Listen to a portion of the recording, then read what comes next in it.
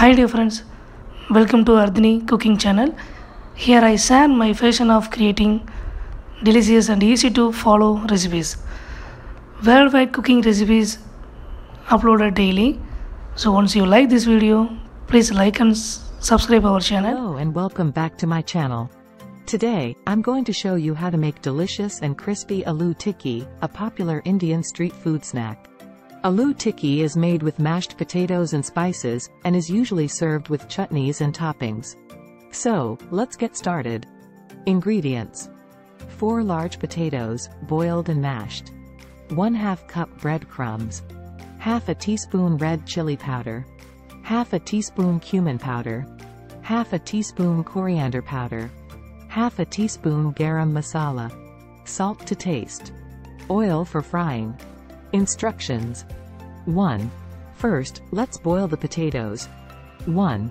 Peel and chop the potatoes into small pieces, and boil them in a pot of water until they are soft and tender. 1. Drain the water and mash the potatoes using a masher or fork. 2.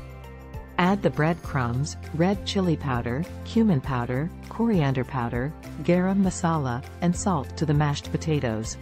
2. Mix well until all the ingredients are combined. 3.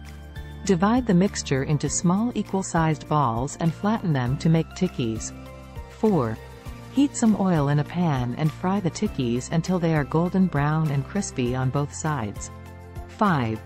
Once the tikkis are cooked, transfer them onto a paper towel to remove any excess oil. 6.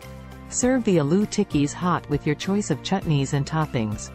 Conclusion. And there you have it, delicious and crispy aloo tikkis, perfect as a snack or appetizer. Thank you for watching, don't forget to like and subscribe to my channel for more tasty recipes.